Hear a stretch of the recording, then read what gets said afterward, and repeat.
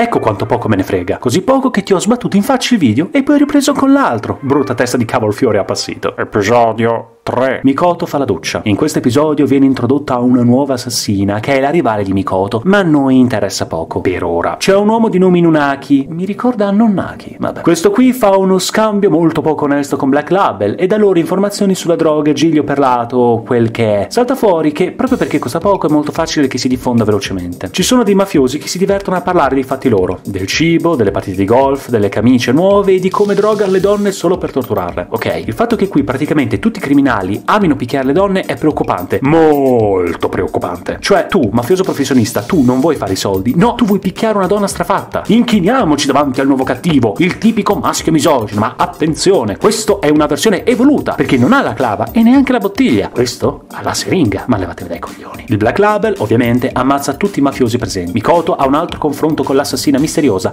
la quale però scappa. Dannazione! Non la rivedremo mai più. Oh no, eccola! Cioè, davvero, chi è quel mona che non l'ha riconosciuto subito? Subito. Mikoto, a quanto pare. Qui tutti hanno la soglia d'attenzione di un gatto ubriaco. Colgo l'occasione per chiedere scusa al mio per avergli fatto bere un po' di spumante. Mikoto e Chikage diventano amiche. Chikage fa vedere la sua cicatrice e racconta a Mikoto la sua triste storia. Le due hanno un momento omosessuale che non critico perché per me il lesbismo è una virtù da lodare. Oppure sono una libido sulla quale ci si può masturbare. Itsugi pedina in Unaki. Itsugi fa il culo a dei criminali trovati per caso, ma sta per essere uccisa da un tipo con la balestra. Un drogato diventa diventa un satanasso ed uno stupratore che vuole violentare la sua compagna di classe. Chikage e Mikoto parlano di come è stato bello non fare o fare se o no. Non ho pensato alla community, non ho pensato all'età del mio pubblico. Dunque, Chikage e Mikoto parlano di come è stato bello non fare o fare baciare le altre labbra. Sono un geniaccio. Le ragazze aiutano la povera studentessa dallo stupratore. Questo scappa come una scimmia e si lascia dietro il culo una striscia di testosterone. Mikoto e Chikage leggono il messaggio sul cellulare del tipo e scoprono che i suoi amici sono stati rapiti da degli spacciatori. Sì, altri mafiosi. Episodio 4. Mikoto incontra il mafioso dai capelli bianchi che tiene quella ragazza come una...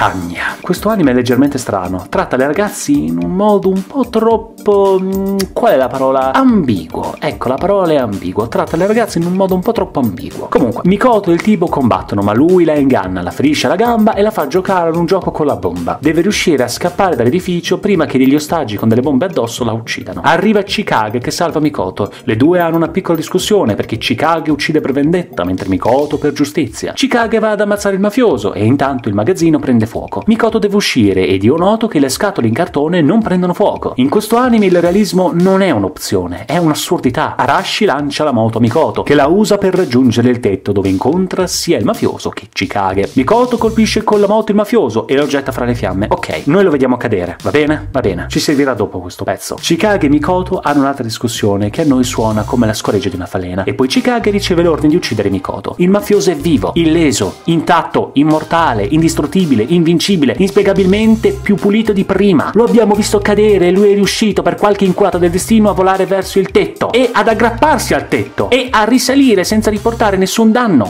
Oppure, oppure, oppure è stato salvato dal sacro protettore della misoginia. No, aspetta, però io ne leggo tre. Io leggo tre divinità, non una. Ma come faccio? Ah no, aspetta, però tecnicamente parliamo sempre della stessa cosa. Quindi il sacro protettore della misoginia, quanto mi risulta, è una divinità a tua scelta che però appartiene ad un culto monoteistico. Ah, questa è complicata, vero? Comunque, non voglio dare troppo fastidio a chi ha rovinato la storia e quindi mi concentro su chi mi sta rovinando la storia. Lo stronzo con il coltello che si scopre essere il gran maestro di Chikage. Egli spara un dado dritto in testa a Chikage e questa muore. Mikoto sta per morire, ma Arashi con la forza del signore lancia la pistola ad una velocità tale che sfonda la barriera del suono. Mikoto spara lo stronzo e questo muore. Chikage è viva. Come? Come? Ok.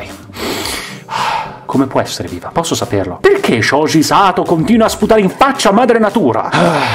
Beh, dai, almeno non è stato così brutto come episodio, no? Scopriamo che c'è un'organizzazione segreta come Black Label. Ma quando è che finisce questo anime?